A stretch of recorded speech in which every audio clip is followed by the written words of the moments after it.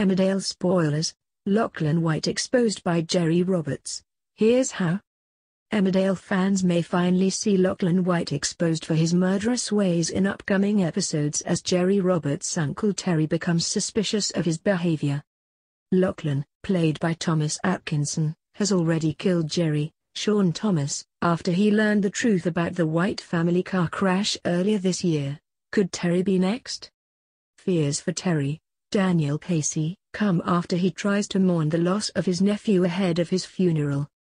In upcoming scenes on Emmerdale, Liv Flaherty shows Terry one of Gerry's hand-drawn comics, which he takes back to the B&B where he is staying. When Lachlan learns that Terry is in possession of it, he becomes obsessed with getting it back. He asks Terry to hand it back but he is suspicious of his request. Terry refuses Lachlan's request and stubbornly holds on to the comic. But Lachlan won't back down as he worries that the book has details of his dark secrets. He later plots to steal the book from Terry's room at the B&B. However, it's not just Lachlan's behavior that is suspicious. Terry is set to deliver a eulogy at Gerry's funeral but becomes very nervous. Furthermore, he accepts a cash payout from Doug Potts, Duncan Preston, after he reveals he will drop his planned lawsuit. Doug goes to great lengths to accommodate Terry, even selling car in order to come up with the cash.